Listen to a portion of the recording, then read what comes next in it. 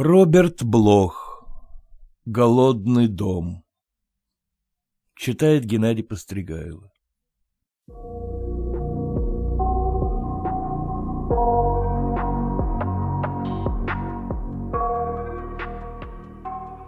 Когда они въехали в этот дом, там никого не было, только они вдвоем. Потом появилось оно.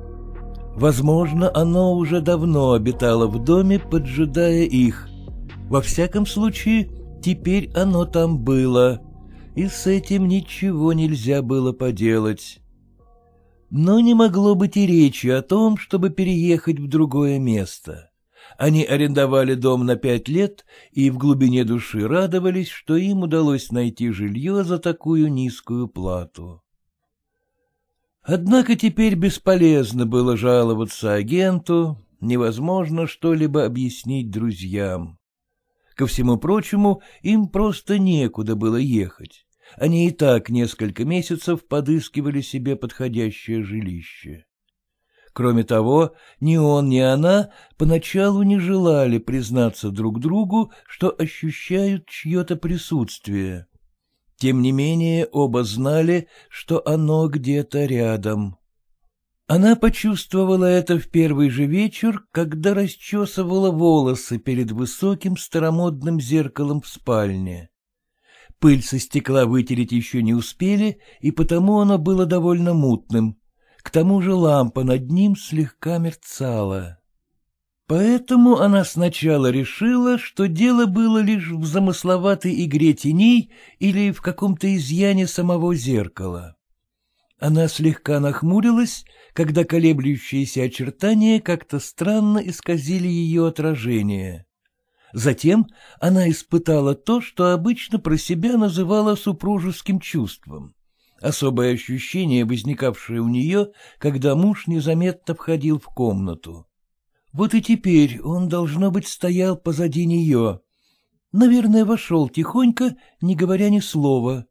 Возможно, хотел подойти и обнять ее, преподнести сюрприз, чуть-чуть испугать. От его движения и мелькнула тень в зеркале. Она обернулась, чтобы поздороваться с мужем. В комнате никого не было. Однако странное отражение не исчезло, как не исчезло и ощущение, что кто-то стоит у нее за спиной. Она пожала плечами, повернула голову и состроила рожицу своему отражению. На улыбку эта гримаса была мало похожа, поскольку неровное стекло и тусклый свет исказили ее черты так, что она увидела нечто совершенно ей чуждое — ухмылку, до неузнаваемости изменившую ее лицо. Ну что ж, похоже, переезд ее слишком утомил. Она провела щеткой по волосам и попыталась переключиться на что-нибудь другое. Тем не менее, она вздохнула с облегчением, когда муж неожиданно вошел в спальню.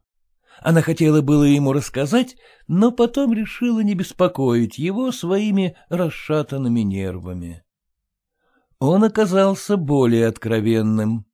Случилось это на следующее утро. Он выбежал из ванной, из пореза на левой щеке стекала струйка крови.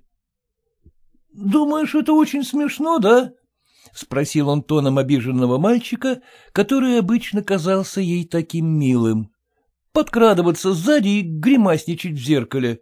Я даже вздрогнул от страха. Посмотри, как я из-за тебя порезался. Она села на кровати. — Но, милый, я не подкрадывалась к тебе. Я с места не сдвинулась с тех пор, как ты ушел в ванную. — Вот как? Он покачал головой, его нахмуренный лоб чуть разгладился, и раздраженное выражение сменилось полным недоумением. — Понятно. — Что с тобой? Она резко откинула одеяло и свесила ноги с кровати, напряженно вглядываясь в его лицо. — Ничего, — пробормотал он, — ничего особенного. Просто мне показалось, что ты, ну или я уж не знаю кто, смотрит через мое плечо в зеркале. Я вдруг что-то такое увидел. Наверное, все из-за этих треклятых ламп. Надо сегодня в городе купить новые.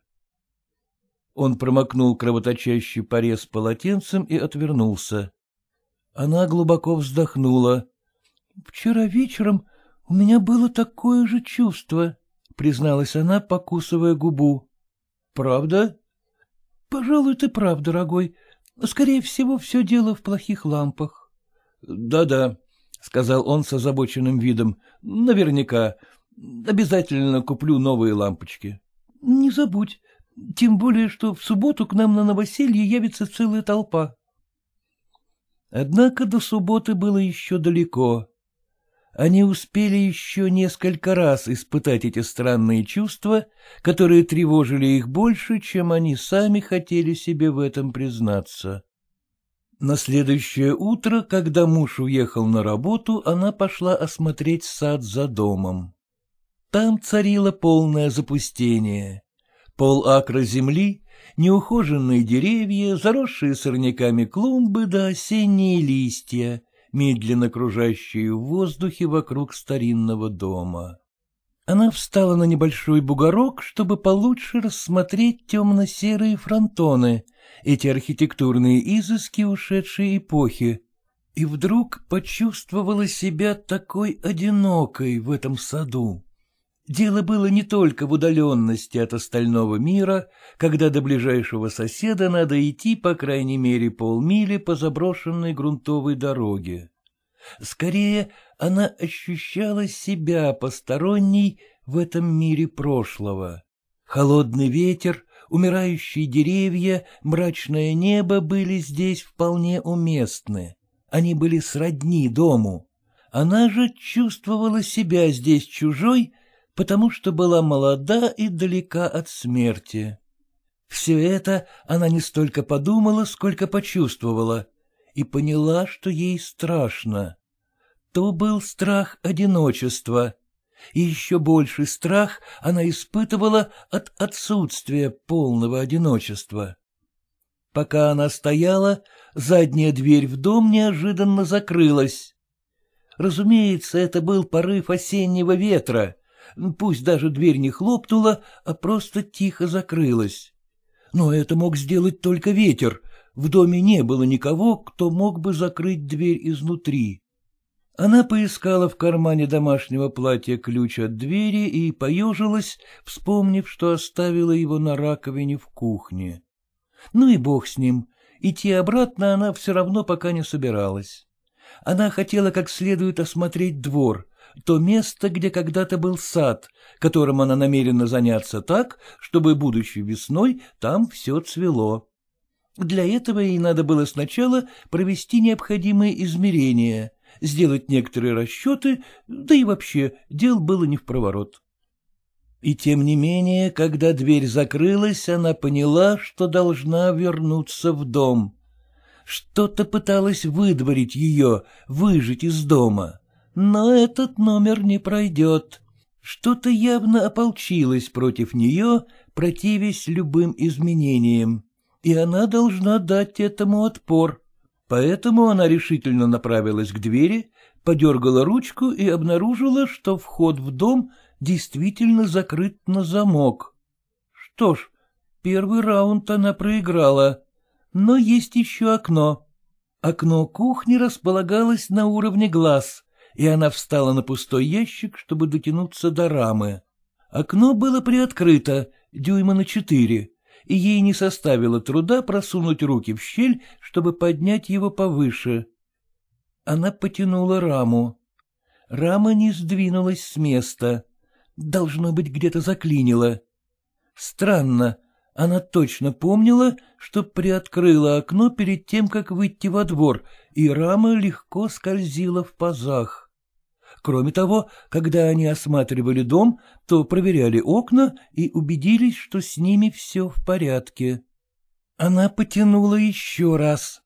На этот раз рама поднялась на целых шесть дюймов, но затем внезапно скользнула вниз, словно нож гильотины, и она едва успела отдернуть руки. Закусив губу, она поднатужилась и приподняла раму в третий раз. В этот раз она посмотрела в оконное стекло. Обычное прозрачное оконное стекло. Она только накануне вымыла его и была уверена, что оно чистое, что на нем не осталось никаких пятен, не было никаких теней и определенно никакого движения. Но теперь на стекле возникло какое-то движение. Нечто похожее на дымчатое непристойно темное пятно пялилось на нее из окна и не давало поднять раму. Оно не уступало ей по силе и вполне могло не пустить ее внутрь. Вдруг, уже на грани истерики, она осознала, что смотрит на свое собственное отражение в обрамлении теней от деревьев. Разумеется, это всего лишь ее собственное отражение, и ни к чему зажмуривать глаза и рыдать. Успокоившись, она подняла раму и чуть ни кувырком ввалилась в кухню. Она была внутри. Одна, совершенно одна. Теперь не о чем беспокоиться, и не стоит тревожить по этому поводу мужа. Она не станет ему ничего рассказывать. Он ей тоже ничего не расскажет. В пятницу днем она поехала в город за продуктами и напитками для субботней вечеринки, а муж остался дома, чтобы, наконец, разобрать вещи после переезда. Для начала он решил перенести все сумки с летними вещами на чердак, чтобы не захламлять комнаты. Так он и обнаружил небольшую комнатку под передним фронтоном. Поднявшись наверх, он поставил сумки на пол и посветил фонариком на стену, и заметил дверь с висячим замком. Судя по пыли и ржавчине, в эту комнату давно уже никто не заходил. Он вспомнил Хеккера, бойкого агента по недвижимости, который помог им арендовать дом. «Он пустует уже несколько лет, так что придется кое-что подправить», — говорил Хеккер. Да, похоже, жильцов здесь не было целую вечность. Ну что ж, тем лучше. Замок можно открыть обыкновенным напильником. Он спустился вниз за напильником и быстро вернулся обратно, отметив по дороге, что чердачная пыль тоже может о многом поведать. Как видно, прежние обитатели в спешке переносили на чердак какой-то скарб повсюду валялись обломки, а на пыльном полу виднелись полосы, свидетельствующие о том, что вещи волокли и тащили как попало. Ничего, впереди у него вся зима, чтобы навести здесь порядок, а пока надо положить чемоданы в кладовку. Пристроив фонарь к поясному ремню, он склонился над замком и попытался взломать его напильником. Душка отскочила — Надавив на дверь, он открыл ее, и на него резко пахнуло плесенью и сыростью. Затем он поднял фонарь и направил его луч в длинный узкий чулан, и будто тысячи серебряных иголок разом впились в его глаза. Золотое пламя обожгло зрачки. Он отдернул фонарь и направил луч вверх, и вновь копья света пронзили ему глаза. Внезапно способность видеть вернулась к нему, и он понял, что смотрит в комнату, заполненную зеркалами. Зеркала свисали на веревках с потолка, лежали на полу, стояли рядом, прислоненные к стенам. Он увидел высокое величественное зеркало, вделанное в дверь, пару зеркальных овалов над старинными туалетными столиками — длинное узкое настенное зеркало и даже зеркальный шкафчик, похожий на тот, что они несколько дней назад повесили в ванной. Пол был усеян ручными зеркальцами всевозможных форм и размеров. Он обратил внимание на красивое зеркало в серебряной оправе, а рядом стояло зеркало побольше, по-видимому, снятое с туалетного столика. Были там и карманные зеркальца, зеркальца от дорожных НССРов и пудрениц, миниатюрные зеркала самых разных форм и размеров. У противоположной стены были выстроены в ряд несколько больших прямоугольных зеркал, которыми когда-то, вероятно, была облицована стена спальни. Завороженный он смотрел на десятки серебристых поверхностей, смотрел на десятки отражений своего собственного ошарашенного лица. И вновь ему вспомнился Хеккер, который показывал дом. Он еще тогда заметил, что в ванной отсутствует зеркальный шкафчик. Но Хеккер ловко увел разговор в сторону, а он как-то не обратил внимания на то, что во всем доме не было ни одного зеркала. Ну, разумеется, дом сдавался без мебели, однако в таком старинном здании вполне могли быть хотя бы зеркальные дверные створки. Ни одного зеркала. Странно. Интересно, почему они все собраны в этой комнатке и заперты на замок? Все это очень странно. Возможно, его жене понравились бы некоторые из этих зеркал. К примеру, вон то ручное зеркальце в серебряной оправе. Надо будет ей рассказать. Он осторожно вошел в кладовку, волоча за собой сумки. Похоже, здесь не было никаких вешалок или крючков. Ну, впрочем, можно за пару минут вбить в стену несколько гвоздей. Наклонившись, он поставил сумки на пол, и свет фонаря засверкал, отражаясь от тысяч зеркальных поверхностей и слепя ему глаза игристыми огоньками. Затем сверкание померкло. Посеребренные поверхности как-то странно потемнели. Вероятно, от того, что их прикрыло его отражение. Отражение и что-то еще более темное. Нечто дымчатое и извивающееся, нечто, принадлежащее этой затхлой сырости, удушающее своим присутствием. Оно расположилось у него за спиной, нет, сбоку, а может, спереди. Оно обволакивало его со всех сторон, и все росло и росло, стремясь задавить его, заставить его задрожать и покрыться холодным потом. Почувствовав удушье, он стремглав выскочил из кладовки, захлопнул дверь и надавил на нее из последних сил. Что это было? Клаустрофобия. Именно, всего лишь приступ клаустрофобии, разыгравшиеся нервы. Человек начинает нервничать, когда попадает в замкнутое пространство и уж если на то пошло, человек испытывает беспокойство, когда слишком долго глядит на себя в зеркало, не говоря уже о полусотне зеркал.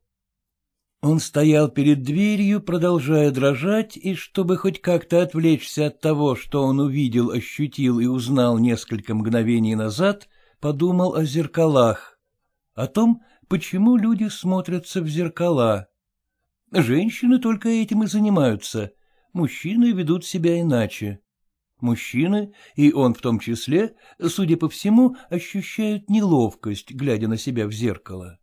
Он вспомнил, какое потрясение ему довелось испытать, когда в магазине одежды он впервые увидел себя сбоку и сзади в специальной системе зеркал. Да и потом всякий раз испытывал те же чувства. Мужчина выглядит в зеркале иначе, не таким, каким он себя представляет и ощущает. Зеркало искажает облик. Именно поэтому мужчины что-нибудь напевают или насвистывают, когда бреются. Так они пытаются отвлечься от того, что видят в зеркале. В противном случае многие сошли бы с ума. Как там звали этого мифологического персонажа, который влюбился в собственное отражение? Нарцисс? Точно. Он часами любовался собой в зеркальной глади воды. Женщины, они вполне способны на это, потому как женщины в сущности видят в зеркале не себя, а некий идеальный образ, видение. Пудра, румяна, губная помада, тушь для ресниц и бровей, тени, блестки — вот что они видят. А под всем этим пустота, на которую наносится косметика. Начнем с того, что все женщины немного сумасшедшие. Она ведь тоже недавно говорила, будто видела его в зеркале, хотя его там и в помине не было. Так что, пожалуй, все-таки лучше ей ничего не рассказывать. Ну, по крайней мере, надо сперва переговорить с агентом-хекером, постараться выяснить, что все это значит, почему прежние хозяева убрали все зеркала на чердак. Он отправился в обратный путь по чердаку, заставляя себя идти не торопясь, заставляя себя думать о чем угодно, кроме ужаса, который испытал в комнате отражений. Отражаться, отражать, отражение. Кто боится собственного отражения? Еще один миф. Верно? Вампиры. У них не бывает отражения. Признайтесь-ка, Хеккер, люди, которые построили этот дом, они что, были вампирами? Эта мысль доставила ему удовольствие. С такой мыслью было приятно спускаться по лестнице в ранние сумерки, смакуя ее в полумраке под скрип половицы грохот ставней, когда ночь надвигалась на этот дом теней, в котором нечто следило за вами из-за каждого угла и скалилось из каждого зеркала.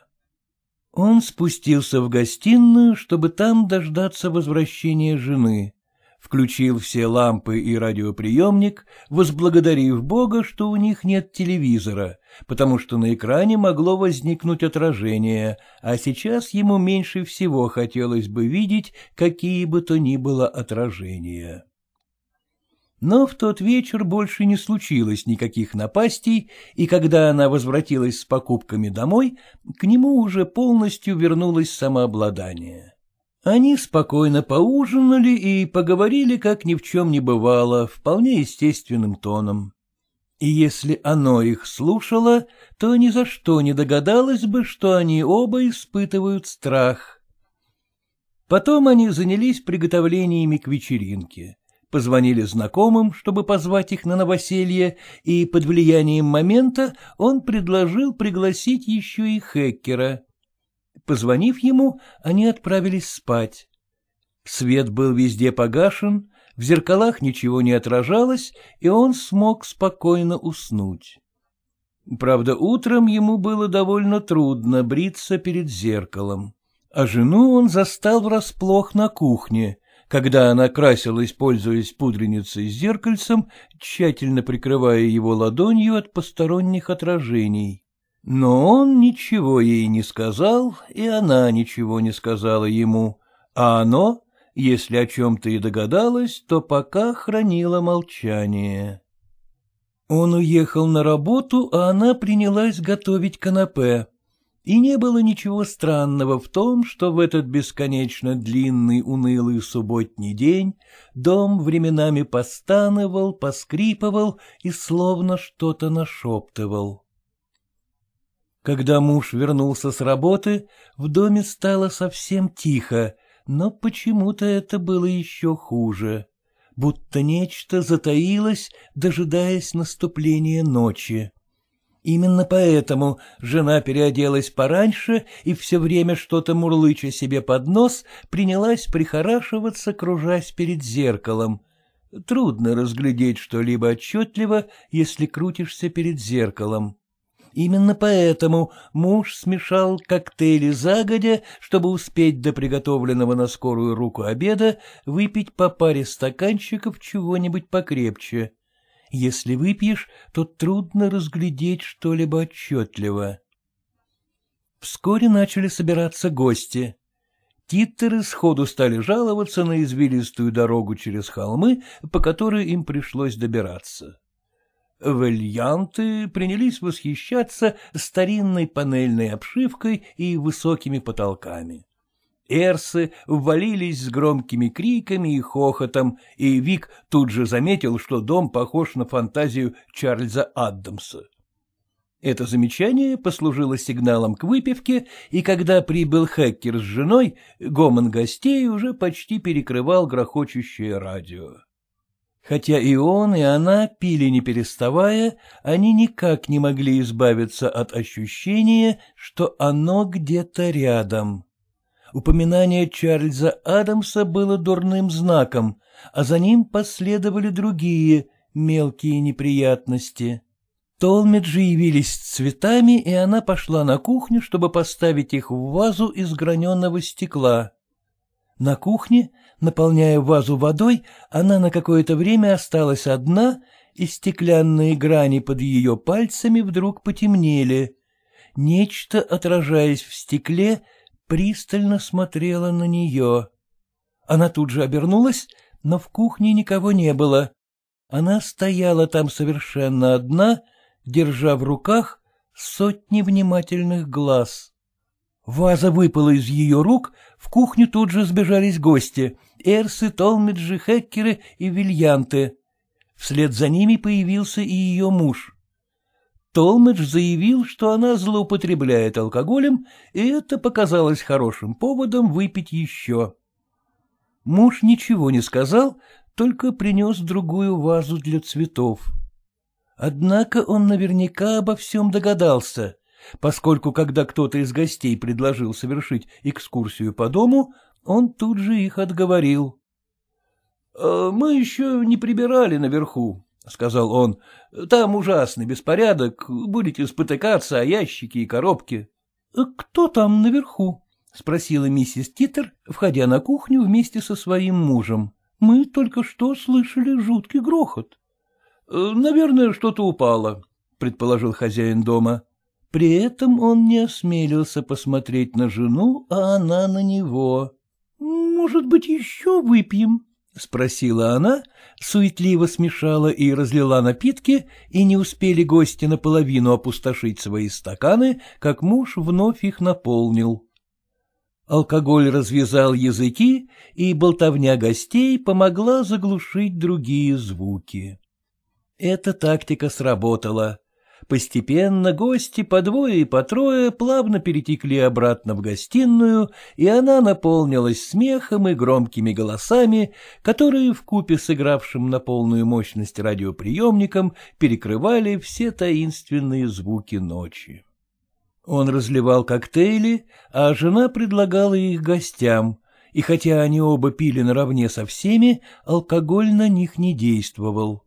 Они двигались по комнате осторожно, словно их тела были хрупкими сосудами, бездонными бокалами, которые могли в любой момент разбиться в дребезги от внезапного резкого звука.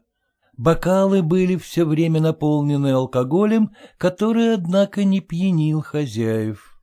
Гости отнюдь не походили на хрупкие бокалы. Они пили, не испытывая ни малейшего страха, и спиртное действовало на них, как обычно. Они чувствовали себя непринужденно, бродили по дому, и вскоре мистер Виолент и миссис Толмидж сами по себе отправились на экскурсию наверх. Но, к счастью, никто не заметил, как они ушли, и никто не обратил внимания на их отсутствие. Только спустя какое-то время миссис Толмидж сбежала по лестнице и заперлась в ванной. Хозяйка мельком увидела ее в коридоре и последовала за ней. Она постучала в дверь ванной и, получив разрешение войти, приготовилась осторожно расспросить миссис Толмидж и узнать, что с ней случилось. Однако расспрашивать ее не потребовалось. Миссис Толмидж, рыдая и заламывая руки, сама бросилась к ней на грудь. — Что за подлые шутки? — выпалила она, заливаясь слезами. — Он прокрался в комнату, чтобы подглядывать за нами. Грязная свинья. Положим, мы там целовались, но ведь больше ничего не было. Как будто он сам не клеился весь вечер к Твен Хекер. Вот только хотела бы я знать, где он раздобыл бороду. Перепугал меня до смерти. — А что же все-таки случилось? — спросила хозяйка, уже догадываясь, что именно там произошло, и со страхом ожидая подтверждения своих опасений. — Мы с Джеффом были в спальне, просто стояли там в темноте, честное слово, и вдруг дверь приоткрылась. Я заметила свет из коридора и обернулась, чтобы посмотреть в зеркало, кто там.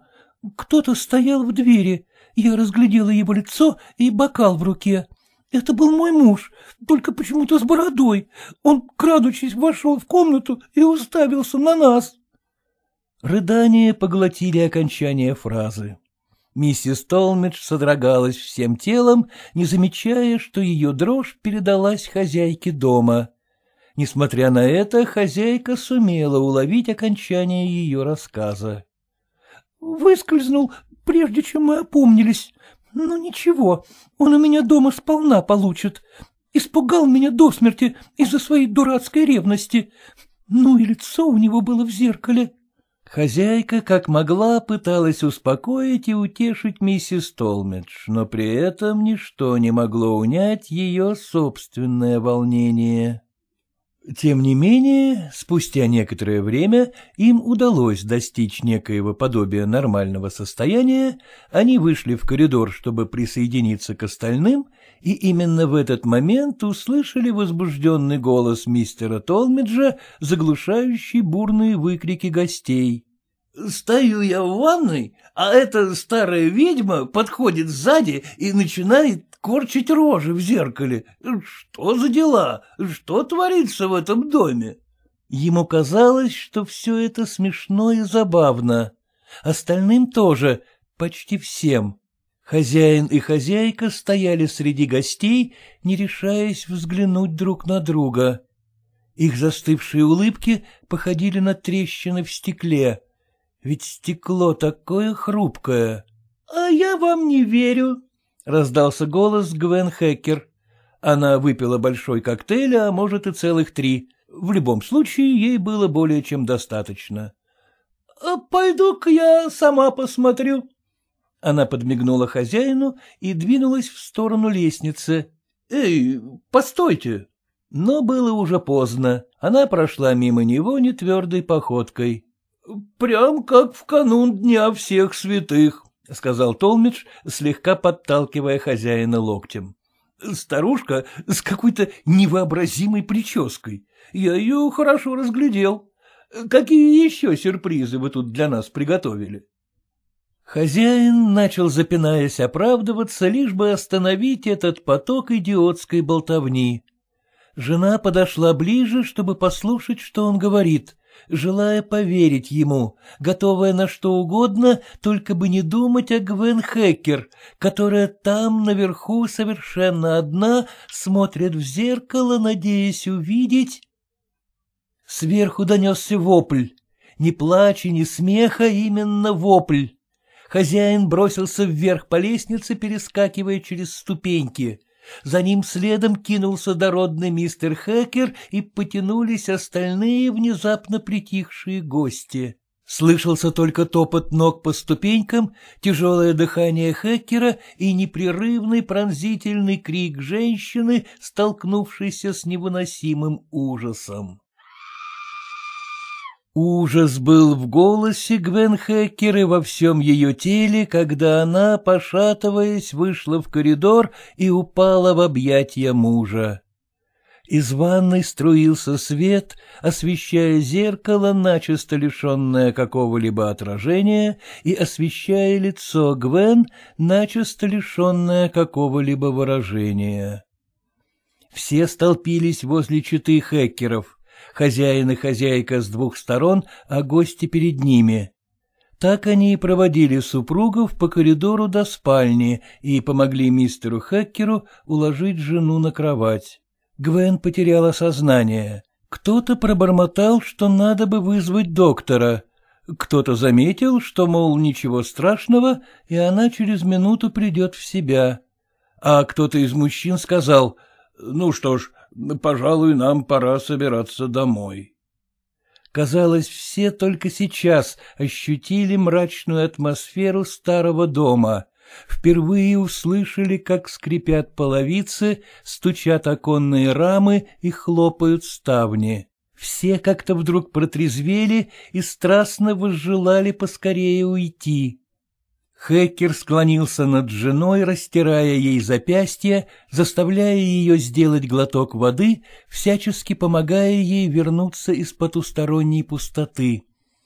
Хозяин и хозяйка молча подавали шляпы и пальто гостям, которые вежливо выражали свое сожаление по поводу случившегося, поспешно прощались, с трудом придумывая благовидные предлоги, и фальшивым тоном говорили мы прекрасно провели время, спасибо, дорогая.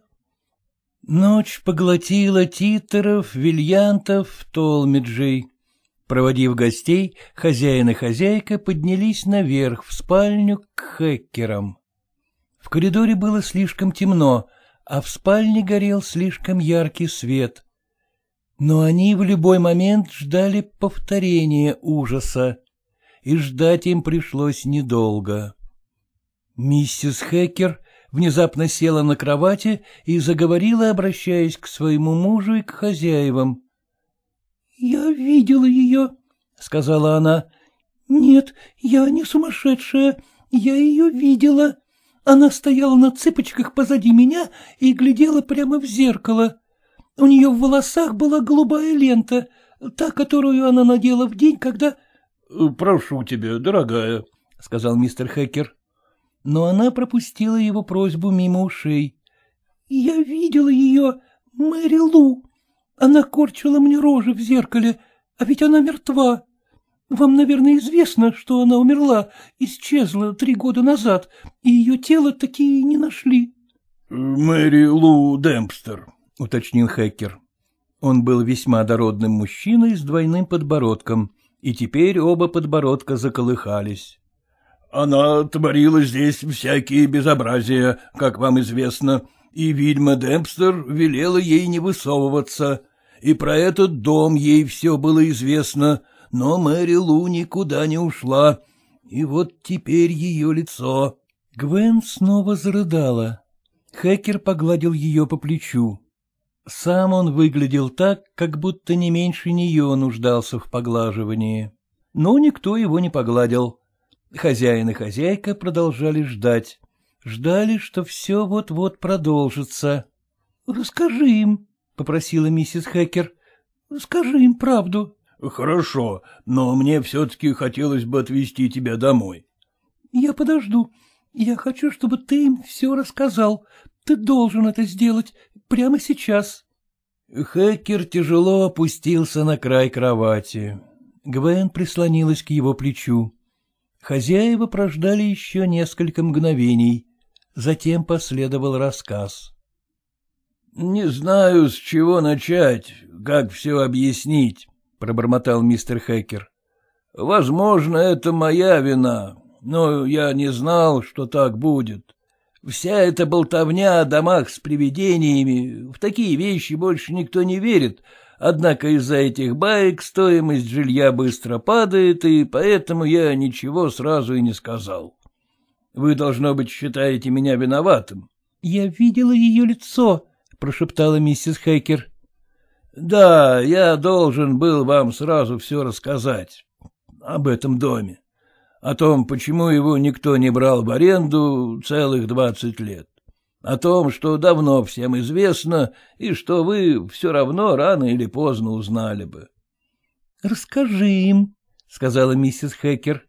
К ней вдруг словно вернулись силы, а муж с трясущимся двойным подбородком, наоборот, выглядел слабым. Хозяин и хозяйка стояли перед ними, хрупкие, словно стеклянные бокалы, и слова Хеккера наполняли их, переливаясь через край. Он и она смотрели на него и слушали, преисполняясь осознанием того, чего они боялись и ждали. Дом, в котором они поселились, был построен в шестидесятые годы прошлого века Джобом Белманом, незадолго до женитьбы. В этом доме его молодая жена родила дочь Лору, а сама умерла при родах. Джо Белман трудился, не покладая рук на протяжении семидесятых, пока росла его дочь, и с чистой совестью отошел от дел восьмидесятые годы, когда Лора Белман расцвела во всем своем великолепии и стала первой красавицей округа. некоторые даже утверждали, что ей не было равных во всем штате. Впрочем, в те дни мужчины не скупились на комплименты.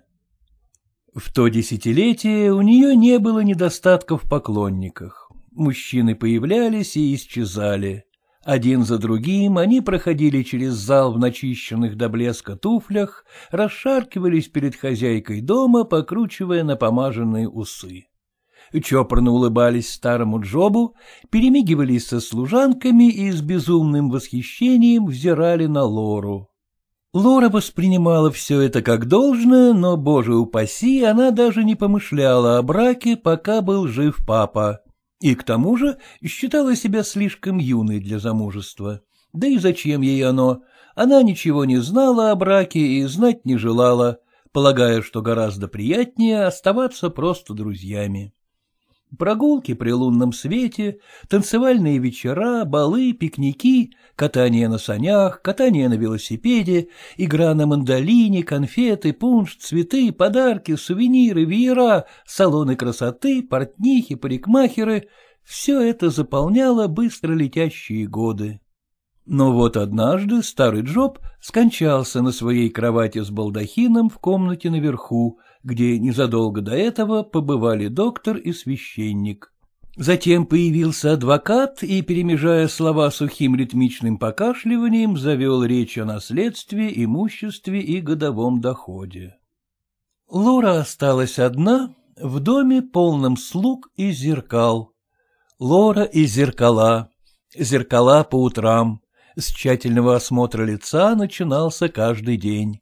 Зеркала по вечерам, в них надо было успеть заглянуть перед прибытием очередного гостя, до того, как к дому подъедет экипаж, и перед тем, как она в очередной раз, помахивая веером, торжественно спустится в зал по витой лестнице. Зеркала на рассвете, вбирающие улыбки, выслушивающие новые секреты и рассказы о вечернем триумфе. Свет мой, зеркальце, скажи, да всю правду доложи.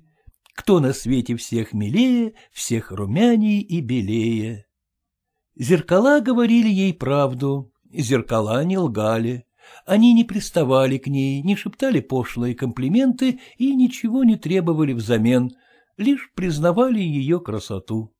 Проходили годы, но зеркала не старели и не менялись. Точно так же не старела Лора. Визитеров становилось все меньше, и некоторые из них как-то странно изменились. Они казались гораздо старше, чем прежде. Как это могло произойти, ведь Лора Белман была все так же молода. Об этом говорили зеркала, а они никогда не лгали. Лора стала еще больше времени проводить с зеркалами. Она пудрилась, выискивала морщины на лице, окрашивала и завивала свои длинные волосы, улыбалась, хлопала ресницами, делала примилые недовольные гримасы. Изящно изгибалась и поворачивалась, принимая изысканные позы и любуясь своим отражением. Порой, когда кто-нибудь наносил ей визит, она просила слуг указать гостю, что ее нет дома. Не стоило ради него расставаться с зеркалами. Спустя какое-то время в этом уже не было необходимости, так как в гости почти никто и не ездил. Слуги периодически менялись, некоторые из них умирали, но на их место всегда приходили новые. Неизменными оставались лишь зеркала и лора. Она поистине весело жила в девяностые, хотя людям не дано было это понять. О, как Лора хохотала, перекатываясь на кровати и делясь своими веселыми секретами с зеркалами. Годы летели, а Лора все смеялась.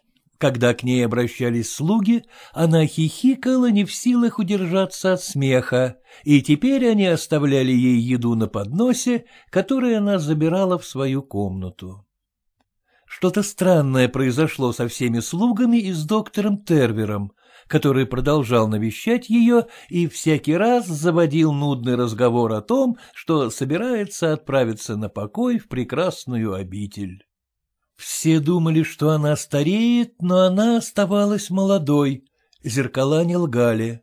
Она вставляла зубной протез и надевала парик, чтобы угодить посторонним, но на самом деле не нуждалась ни в том, ни в другом. Зеркала подтверждали, что она нисколько не изменилась. Они, зеркала, говорили с ней, а она молчала, просто сидела и кивала, раскачиваясь перед ними в комнате, пропахшей пудрой и почулями. Поглаживала шею и слушала, как зеркала говорят о ее красоте, утверждая, что она считалась бы первой красавицей, если бы появилась в свете но она не желала покидать дом и ни за что не хотела расставаться со своими зеркалами. Но наступил день, когда ее решили увезти из дома и даже попытались схватить ее. Ее, Лору Белман, самую утонченную и прекрасную женщину. Неудивительно, что она вопила, отбивалась, царапалась, кусалась, размахивала руками и ногами так, что один из слуг отлетел в сторону, ударился и разбил своей бестолковой головой прелестное зеркало, забрызгав кровью ее совершенный образ. Разумеется, это решение было неразумным и неправильным, ведь она ни в чем не виновата. Доктор Тернер так и сказал членам магистрата. Он сообщил об этом Лоре, когда навестил ее в последний раз. Ей больше не придется принимать его, и не нужно будет покидать дом. Только теперь ее запрут в комнате и заберут все зеркала. У нее забрали все зеркала.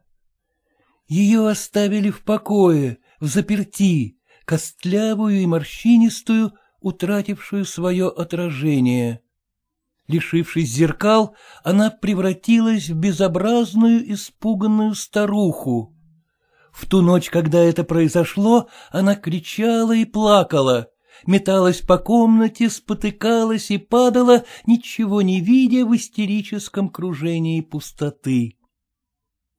Именно тогда Лора поняла, что все-таки состарилась, и ничто ее не спасет. Она осознала это, когда подошла к окну и прислонилась лбом к холодному стеклу. Позади нее мелькнул отблеск света, и, отпрянув от окна, она увидела свое отражение в оконном стекле. Оно тоже было зеркалом. Она долго, любовно и пристально смотрелась в него, разглядывая свое лицо со следами слез на толстом слое румян и увидела лицо старой корги, приготовленной к могиле безумным агентом похоронного бюро. Все перевернулось. Это был ее дом, в котором она жила с самого рождения и знала здесь каждый уголок. Дом, который стал как бы продолжением ее самой. Это была ее комната, она жила в ней долгие годы. Но безобразная и непристойная личина никак не могла быть ее лицом.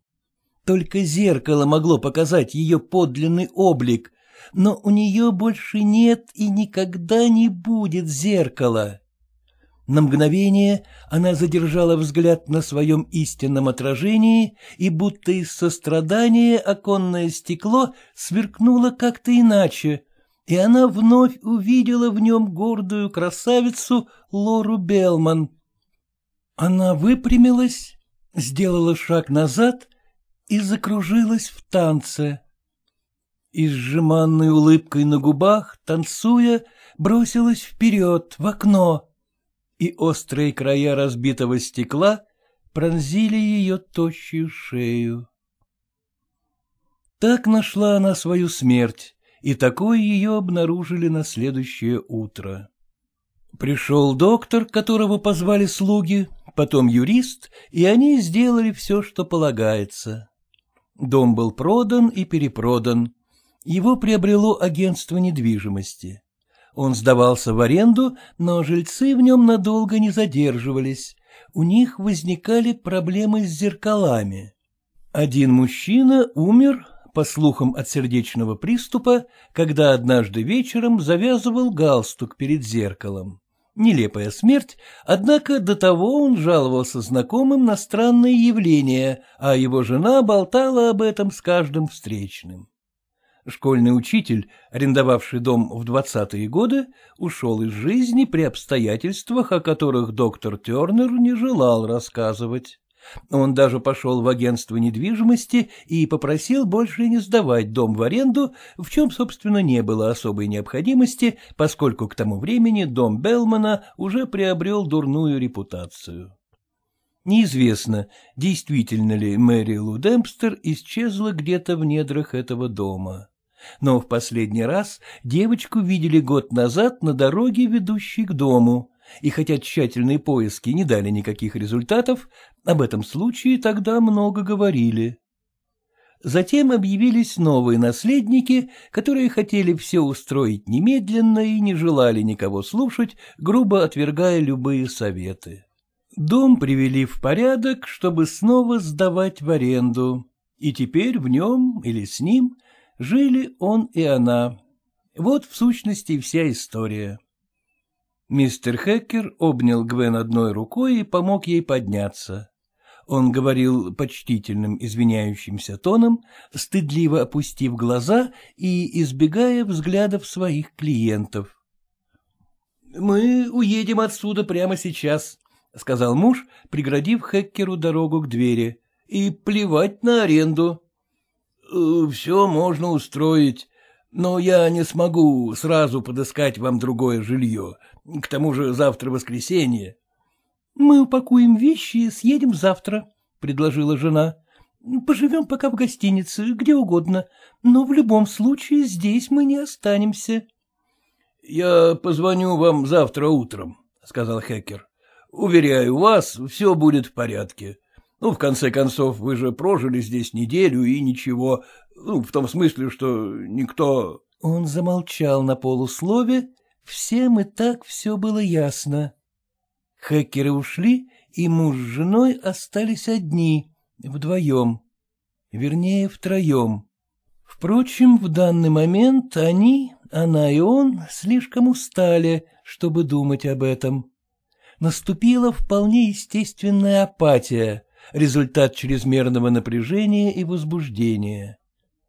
Они молчали, да и говорить было не о чем, и не слышали ни звука, ибо дом и оно хранили мрачное молчание. Жена пошла в спальню, разделась и легла, а муж решил обойти дом. Сначала он зашел на кухню и достал молоток из шкафчика возле раковины. Затем разбил единственное висевшее на кухне зеркало. Еще один удар и звон стекла. Разбито зеркало в прихожей. Потом он поднялся наверх, вошел в ванную. Удар, и с громким звоном разлетелись осколки зеркального шкафчика. Затем он разнес зеркальное панно в своей комнате. Прошел в спальню и расколошматил в дребезги зеркало на туалетном столике. Он не испытывал ни возбуждения, ни злости и даже не порезался. С зеркалами было покончено. Теперь все до одного были уничтожены. На секунду его глаза встретились с глазами жены. Затем он выключил свет и лег рядом с ней, и попытался уснуть. Ночь миновала. При свете дня все выглядело довольно глупо. Жена еще раз внимательно посмотрела на него, и он пошел в свою комнату за чемоданами. Пока она готовила завтрак, он успел разложить одежду на кровати. Позавтракав, она достала вещи из комода и шкафов. Ему осталось только подняться на чердак и принести сумки для одежды. О перевозке вещей можно было договориться завтра, когда они решат, куда ехать. Дом затих. Если он и догадывался об их планах, то пока ничего не предпринимал. День выдался пасмурным, но они, не сговариваясь, не зажигали свет, так как не могли выбросить из головы историю с отражением в оконном стекле. Конечно, можно было бы разбить все стекла, но это выглядело бы совсем по-идиотски, все равно они скоро покинут этот дом. Затем раздался звук, словно журчание тонкой струйки, плеск воды, откуда-то снизу. У нее перехватило дыхание. — Это труба в подвале, — сказал он, улыбаясь и обнимая жену за плечи. — Надо пойти посмотреть. Она направилась к лестнице. — Ну, тебе-то зачем идти? Я сам этим займусь. Но она покачала головой и открыла дверь. Сама на себя наложила епитимию за свой испуг.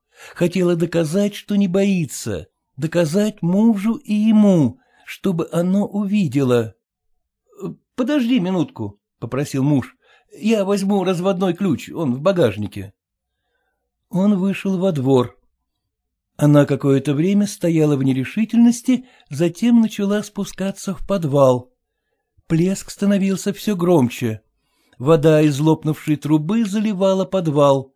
Звук был забавным, веселым, как смех. Подходя к машине, он тоже слышал этот звук. Со старыми домами вечно что-то не так, этого следовало ожидать. Лопнувшие трубы... Где? А, вот. Он нашел ключ. Вернулся в дом, прислушиваясь к журчанию воды, и вдруг услышал пронзительный крик жены. Она кричала, кричала там, в подвале, в темноте. Он помчался, размахивая тяжелым ключом. Протопал по ступенькам вниз, в темноту. Крики жены рвали сердце на части. Оно схватило ее, она отбивалась, но оно было гораздо сильнее. Свет сверху упал на лужу под лопнувшей трубой, и, взглянув на отражение, он увидел лицо жены и окружавшие его темные пятна других лиц. Он занес гаечный ключ и ударил в это черное месиво, затем еще раз и еще и еще, пока крик не затих. Только тогда он остановился и посмотрел на нее. Темные пятна исчезли, и на поверхности воды осталось только отражение его жены. Она была на месте, она не двигалась, застыла навсегда. Лишь возле ее головы красная струйка окрашивала воду. Он хотел было сказать ей об этом, но вдруг осознал, что она мертва. Теперь они остались вдвоем. Он и оно. Он пошел наверх, поднялся по лестнице, сжимая в руке гаечный ключ. Надо позвонить в полицию и все объяснить. Он сел перед телефоном, обдумывая, что скажет и как объяснит. Это будет непросто. Он расскажет, что в этом доме прежде жила сумасшедшая, которая все время смотрелась в зеркала, пока в ее отражении не стало больше жизни, чем в ее собственном теле. Поэтому, когда она покончила с собой, Какая-то часть ее продолжала жить как отражение в зеркалах, в стекле, в любой зеркальной поверхности. Она убивала или доводила до самоубийства тех, кто потом жил в этом доме, а их отражения присоединялись к ее отражению, и оно становилось все сильнее и сильнее, питаясь чужими жизнями для удовлетворения собственной гордыни, которая продолжала жить после смерти. Женщина, тщеславие — вот суть твоя. Вот почему, джентльмены, я и убил свою жену. Да, отличное объяснение, но удовлетворит ли оно полицейских? Это вилами по воде писано. Вода. Лужа в подвале, из-за которой все и произошло.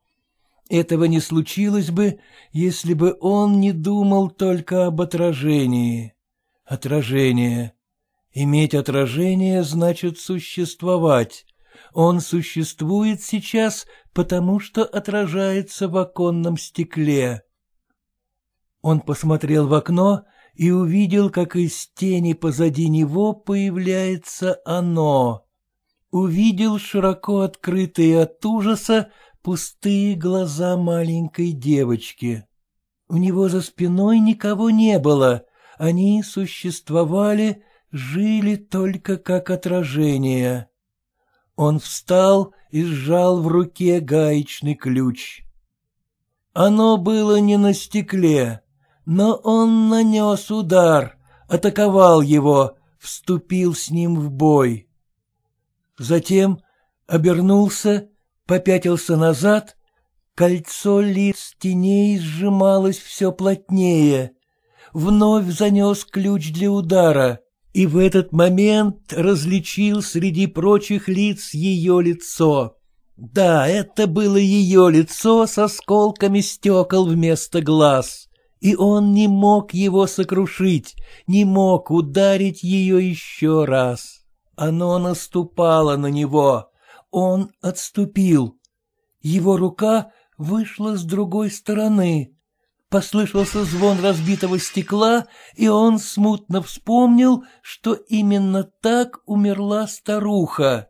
Точно так же умирал теперь и он, вываливаясь в окно, изранив горло острыми краями стекла, которые жгучей болью пронзили его, проникнув почти до самого мозга. И тело, истекая кровью, рухнуло на остроконечные стеклянные зубцы. Он испустил дух. Тело безжизненно повисло, дух покинул его. Лужа на полу увеличивалась в размерах. Снаружи на нее падал свет, и в ней появилось отражение. Из тени явилось нечто вроде пятна.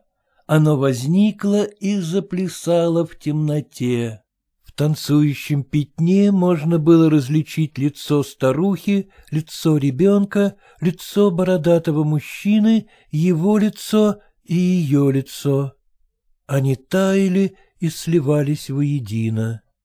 Пятно плясало и прыгало, затем замерло на месте и затаилось в пустом доме, словно кого-то поджидая.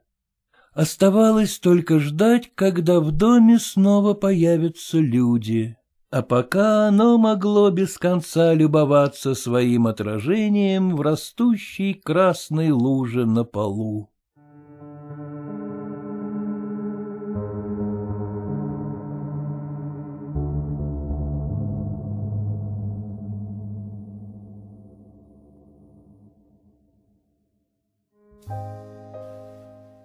Предлагаю услуги по выполнению следующих работ. Укладки ламината, изготовлению и установке подиума с выдвижной кроватью, утеплению и отделке лоджий, установке перегородок из гипсокартона с пеналом для двери купе, монтажу стен и потолков из гипсокартона, отделке вагонкой, панелями ПВХ, установке подвесных потолков.